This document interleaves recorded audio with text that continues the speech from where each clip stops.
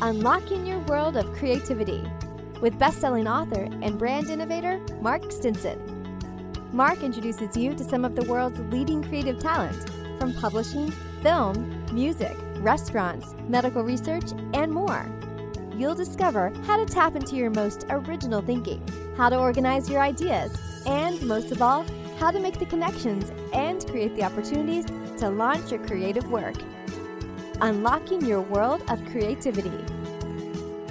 Well, hi, welcome back, friends. I'm Mark Stinson, and I have a very special guest today as we are going to go through a wide range of creative pursuits that our guest is working on, including some very meaningful social and charitable projects that we want to get into. So let me introduce Roman L.C. Martinez. Hey, thanks for having me. Well, Roman is a professional illustrator. He's a filmmaker in LA. He's founded the Film Reframed studio. And he's also working with a program called the Unhoused Art Initiative. And we're going to talk about this program for people who are experiencing homelessness in LA. Roman, we want to talk about your projects and also some of the things that you're working on to support these unhoused artists. We've got a lot to cover in our short time together, but we're going to get to it all. Yeah, it sounds great. I'm thankful for the opportunity. Well, like a lot of creative people, you have so many creative pursuits. How do you juggle it all? How do you prioritize? What works for you? Well, it's interesting. I think step one for that is uh, having ADHD really helps bounce around between a number of projects. You know, even though I do think that that's in some ways a joke, it's also very much a, a real driver, you know, of my life and my experience. When I'm interested in something, uh, it's very easy to channel a lot of energy and passion towards that particular thing. And seeing that I have a diverse scope of projects and things that I want to contribute to the world and people I want to work with, it always helps me to if I hit a wall in one pursuit, or maybe there's just a, a, delay in something that I'm working on, it's very easy to shift over to the next one and to the next one. So it's, you know, each sort of develops at its own pace. And I just try to make sure that you just keep all of them in the air, that at least you've worked, you've touched, you know, every project that you're working on at least once within that month, just to keep it alive. But it is, as you're saying, it's very difficult to navigate. And uh, I don't always do a good job. So I think just the, the effort and the passion for it, it, it, helps to be excited about it. Indeed. Well, and it comes through. So, as an illustrator, as an artist yourself, you've obviously decided to share this. And as an educator, then, share the passion, but also the techniques and the specific tools that one needs. And I'm really interested to delve into the Unhoused Arts Initiative and how that came to be one of your passion projects. So, a couple years ago, I started working with the Union Rescue Mission, which is one of the largest missions on Skid Row here in Los Angeles, serving the unhoused population. And I went in with the intention to help artists who don't have access to supplies or storage for their artwork create art that communicated some of their experience I, went in with without a real expectation of how it was going to go. I just thought if I bring gallery quality supplies into a situation where there may be artists who want to create something and I give them the space and the time and the attention to do that, then maybe it will yield beautiful results. And you know, that's the thing is you never know exactly what you're going to get in an unknown situation. So I started going in on Saturdays and setting up a table in front of the what they call the day room, which is where they allow people uh, from the streets to come in during the day and, and have a roof over their head and participate in activities or work with different health services. And so I went in and just yelled out to the room, you know, hey, I, I'm Roman. I'm here. I've got art supplies. If you want to come make something or just watch or just talk, come up here and we'll spend some time together. And that started the process of a year long endeavor to, you know, every week go to the mission, meet somebody new, help them develop art that really spoke to them and not just give them a situation where we say, today we'll paint a tree or today we'll paint a fish, but instead to let them express what they want to express and then give them an opportunity to have that artwork preserved and archived, photographed, and taken back with me for the, the purpose of exhibiting it in a gallery setting.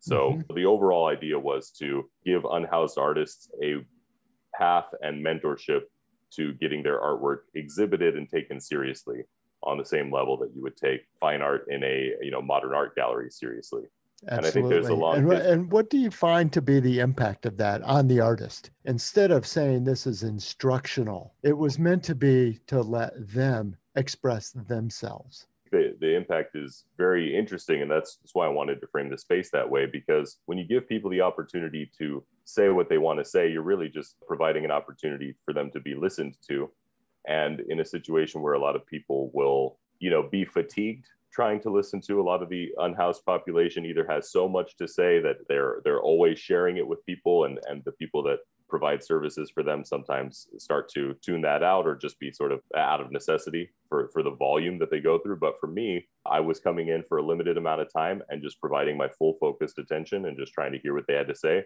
So it's a good opportunity for them to share a story that they either even if they shared that same story 20 times that day, to have somebody not only be looking at them the whole time and processing it, but also giving them a chance to say, you know, or asking them the question of, well, how would you represent that? Or what would you want to, you know, show about that? Made space for a lot of really, really beautiful and interesting moments. You'd have people come up who, you know, I had a woman come up and she sat down and, and was sort of saying that she didn't really want to paint, but she just wanted to be around because she liked, you know, artistic people. And so she was sitting there for a while.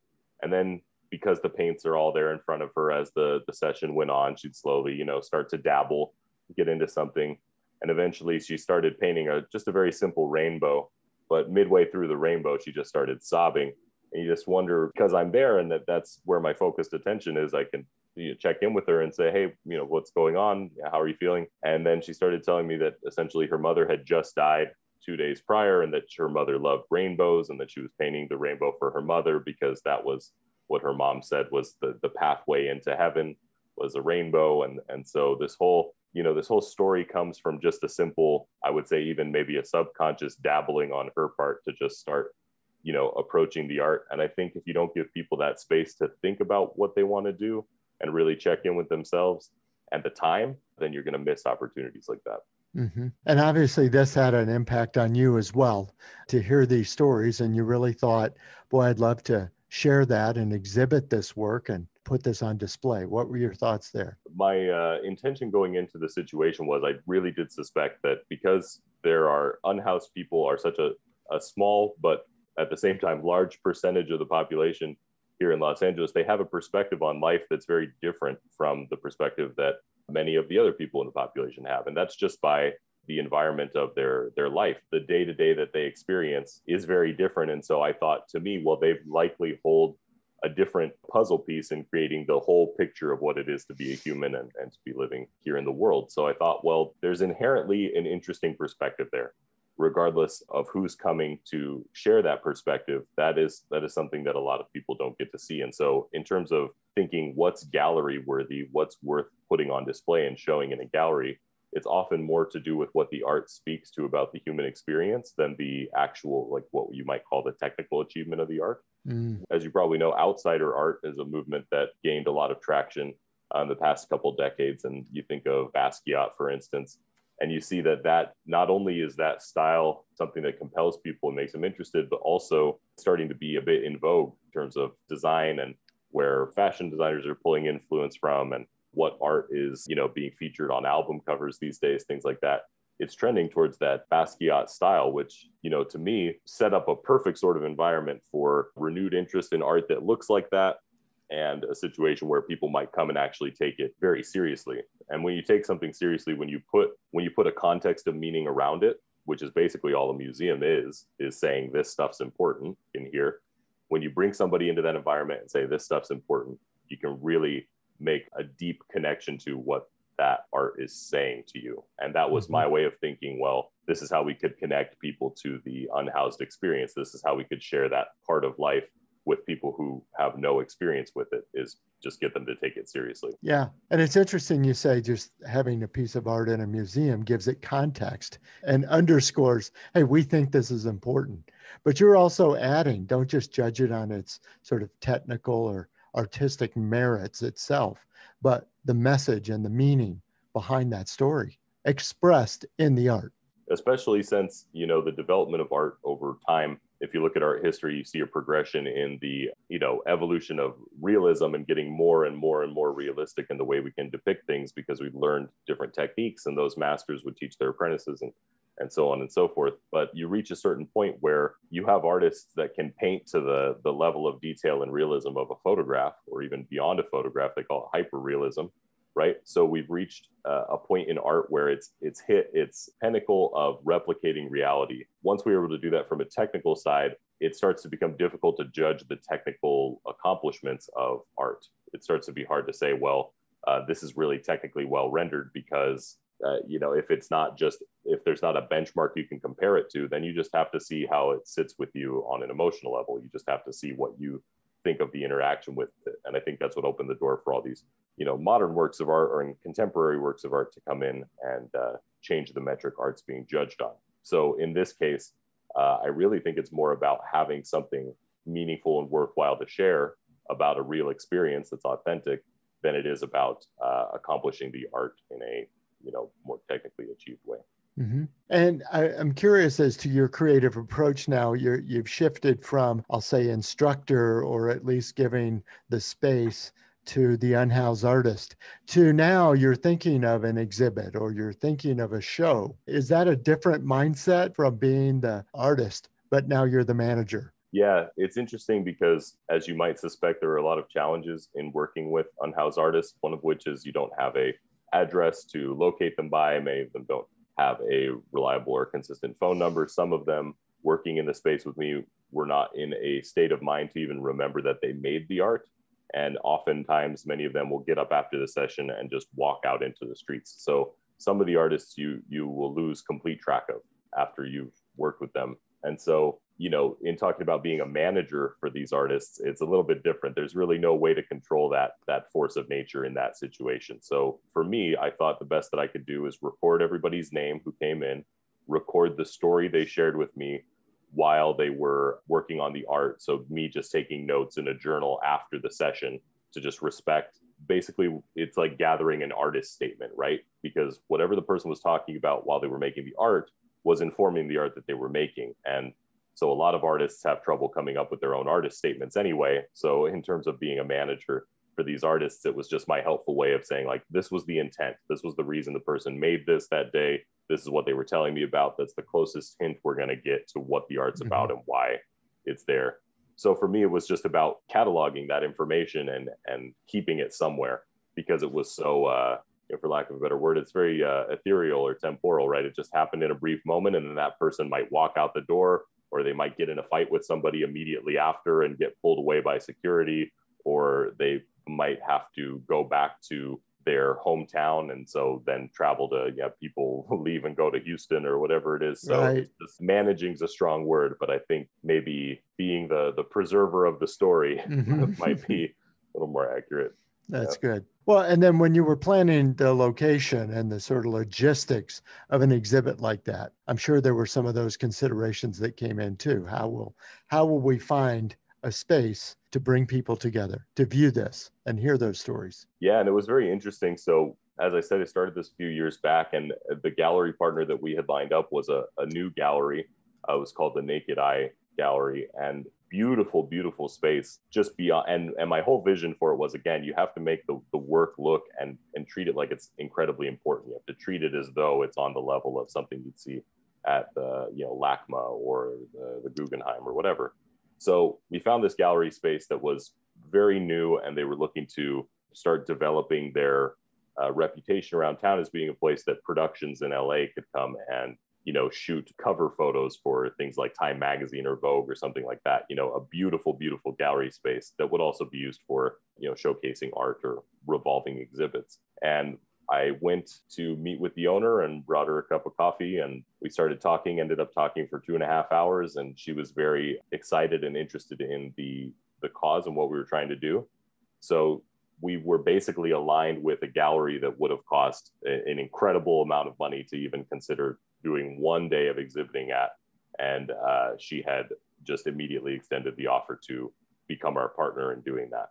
To summarize the, the responses, you know, the I knew that the space had to be very beautiful and very high end in order to again just communicate the there's so many subliminal cues in imagery and in life that that tell us as humans that oh this is important or oh this is beautiful or oh i need to dress up for this or you know whatever. So i just knew that wherever it was taking place it needed to really excel beyond something that might feel like a coffee shop art show or something that might feel like oh we're doing this in a warehouse somewhere that's a little bit far away but the other logistical concern was of course if we were going to do the exhibit and we were going to bring some of the unhoused artists in to be present for the event, uh, how would we get them there?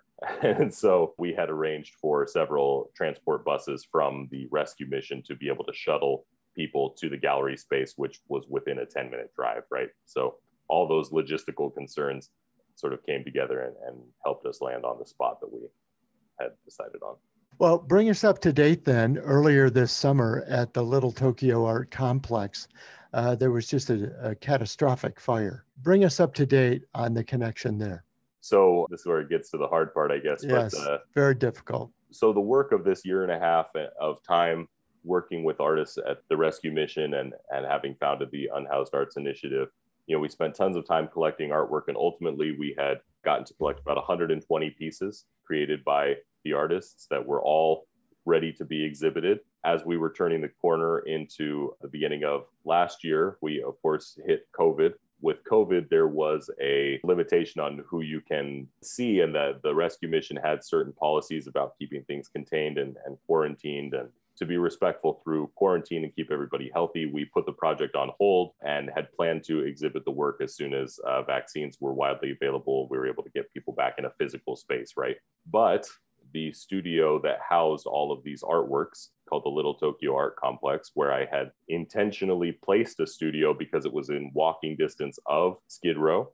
It was right on the edge of Little Tokyo, which is a, a beautiful and arts cultural hub in downtown. That borders Skid Row. And so the studio was right on the edge between the two of them. And I thought, well, this is perfect, if not just symbolic. And it was a space where we could maybe bring artists to come develop their work in a more private space too.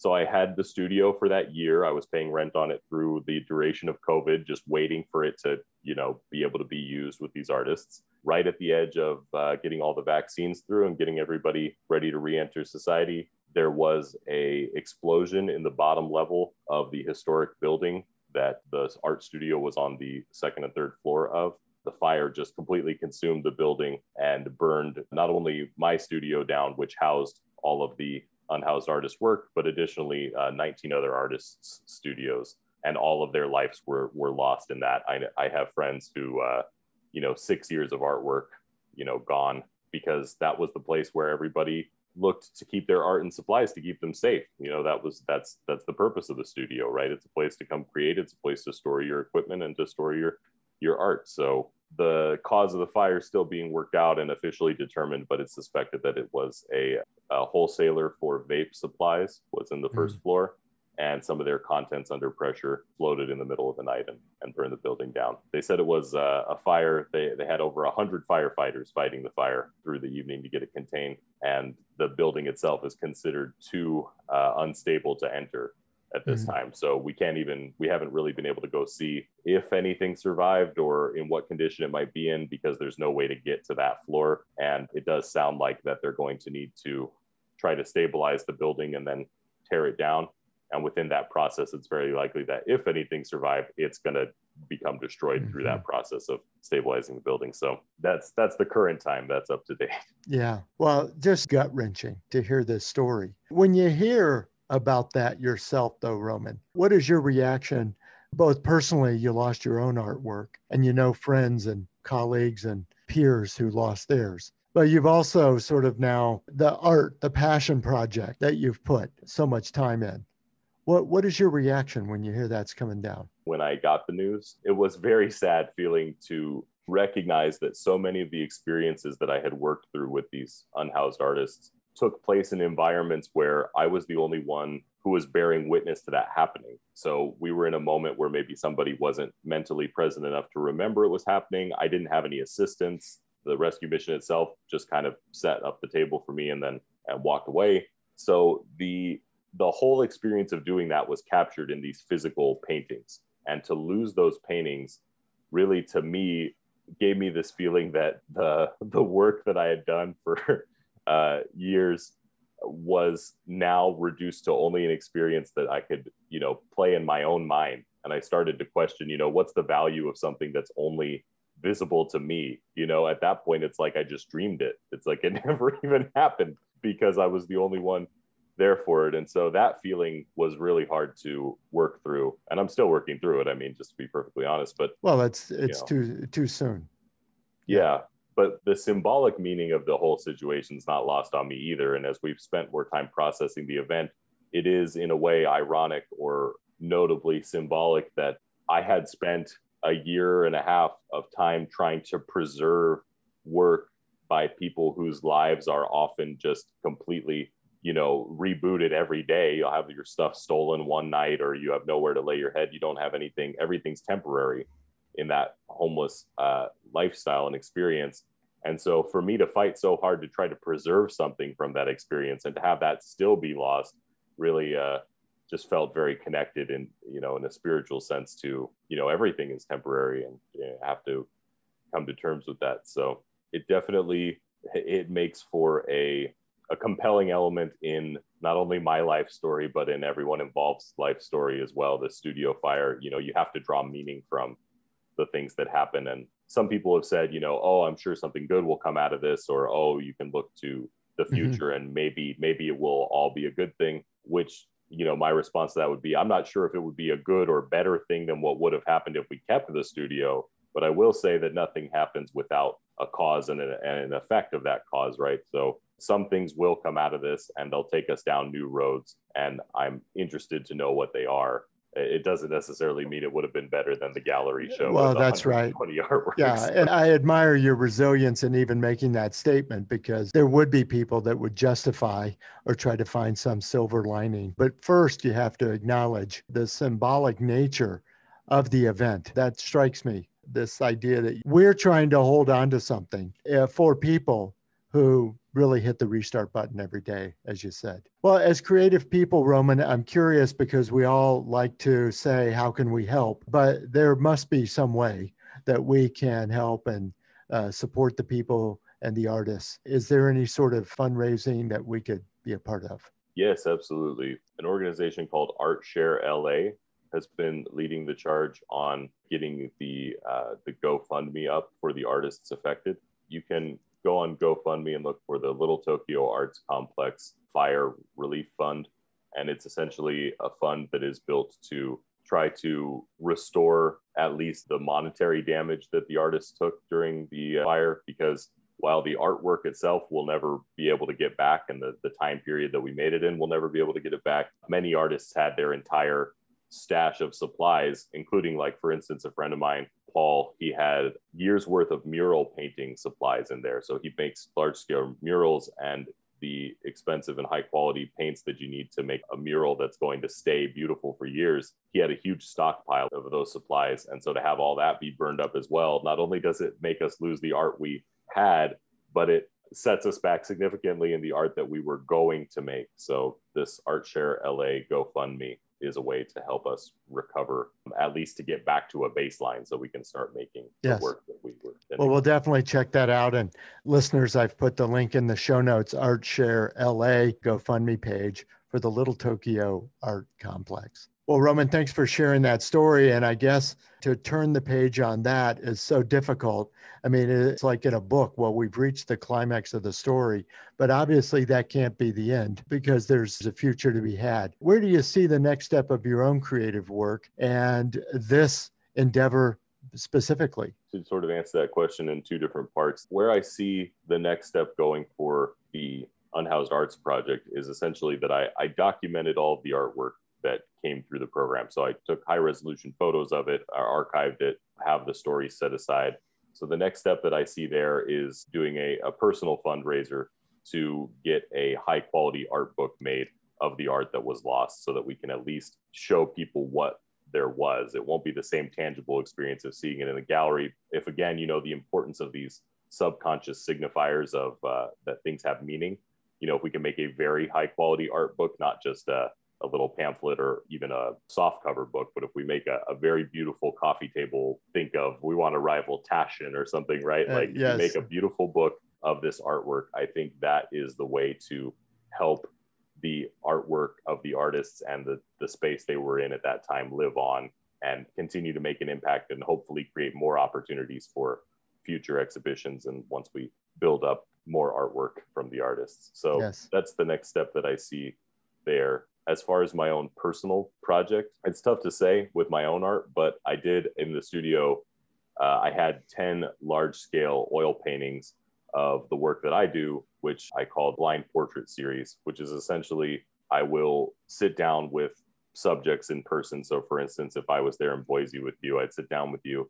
I'd ask you a question about life or the something existential or even something just very minimal, but I would ask you with the intent to listen, and uh, I would begin drawing you without looking down. So I'd have have my sharpie in hand, the Bristol board, and I just begin drawing you as I see you talking about something that you're interested in or something that matters to you. And uh, ultimately, that experience lasts about five minutes, and then I have a what we call the blind portrait of you. And in some ways, it, it is similar to a blind contour drawing that you might think of, you know, having done in art school. But in the way that I do it, it's very different because I do pick up the pen. I don't make one continuous line. And the idea of the art is that it captures the very temporary experience of you answering the question I asked you while I'm drawing you. So mm. it, hmm. it, sort of mm. informs the art.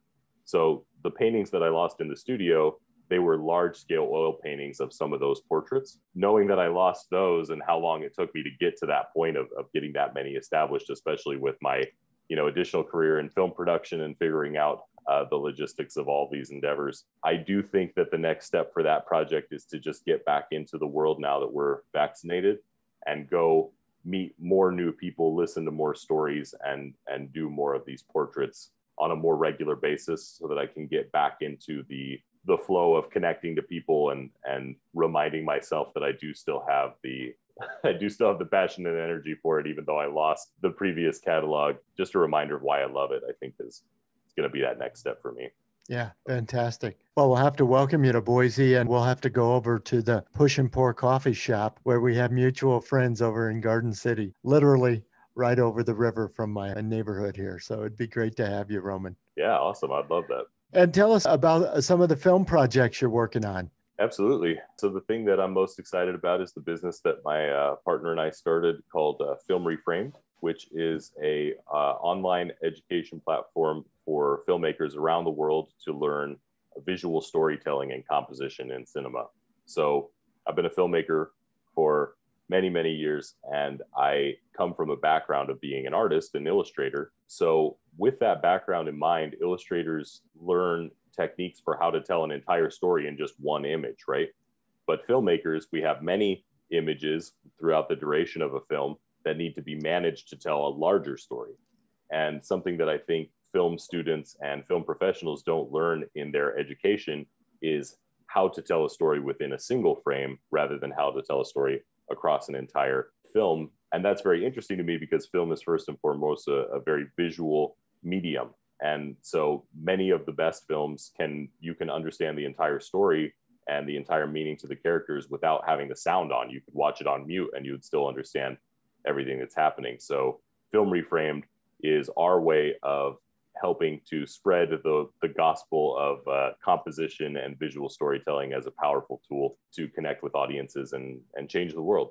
Uh, we've been doing that for the past year. We do all sorts of great classes from our, our core classes, which go through the essentials and how to apply a why behind your compositions, all the way to what we call our intensive series, which is sort of like all the electives you wish you had in film school, right? So we've, you know, we've got like composition for action sequences where it's just two and a half hours talking about how to make better action sequences or composition for dance film and how to make better musical numbers. And, you know, so it's really a place for people who love film, people who make films, people who are aspiring filmmakers, or even industry professionals who've been doing this forever to just come reconnect to why they love their form and to get a strong handle on uh, a vocabulary that will help them communicate their ideas to their crew or to their collaborators and make better movies. There you go. And, you know, I'm so interested when you've talked about collaboration.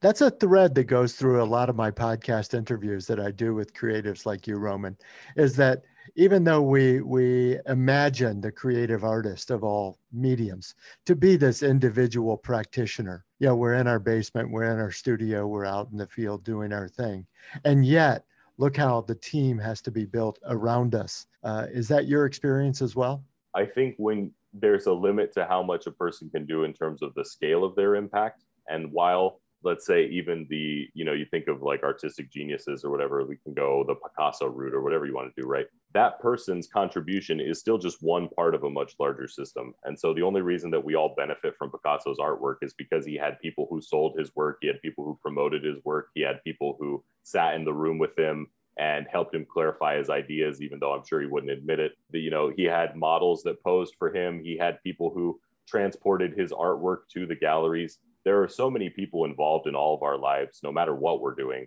To think of an artist as a sort of like a silo off on their own, it's just not accurate. And I think there's a lot of benefit to spending time in solitude to find your voice and, and figure out what you want to say. I think that there is always going to be a time where if you want a larger impact, you need to involve more people. I know that very well through film production because you cannot make a movie with you know a, a, small amount of people. It's you see the credits in a movie you know hundreds of names hmm. go by. And it just reminds me that to have that sort of large scale impact you need a lot of help. So yeah. I love that. And the visual imagery of the credits really underscores that.